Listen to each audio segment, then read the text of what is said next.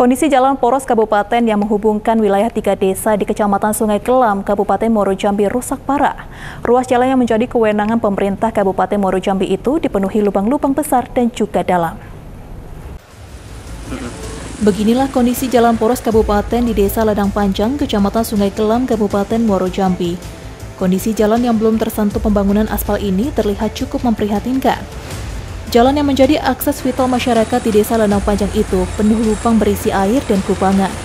Ironisnya, hingga kini belum ada upaya perbaikan dari pemerintah daerah. Infrastruktur jalan yang masih berkonstruksi tanah merah ini sulit dilintasi oleh pengendara sepeda motor maupun mobil. Tidak hanya di jalan yang belum tersentuh aspal, kondisi jalan yang sudah diaspal pun juga tampak terkelupas dan hancur. Terpantau jalan kabupaten sepanjang belasan kilometer yang menghubungkan tiga desa di kecamatan Sungai Kelam ini juga dipenuhi lubang-lubang besar dan dalam. Jalan ini menghubungkan wilayah Desa Ladang Panjang, Desa Talang Balido, dan Desa Kebun Sembilan. Hampir keseluruhan fisik jalan dalam kondisi rusak dan membahayakan pengguna jalan. Warga pengguna jalan pun mengeluhkan kerusakan jalan yang telah terjadi selama menahun ini. Selain mengganggu perekonomian dan aktivitas pendidikan masyarakat, Kondisi jalan yang rusak juga kerap menyebabkan kecelakaan, baik bagi pengguna sepeda motor maupun mobil.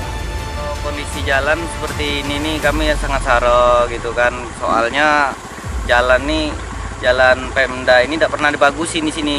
Paling-paling timbun masyarakat yang batu itu pun tengoklah kondisi jalan parah sekali gitu kan, masuk macam mana gitu.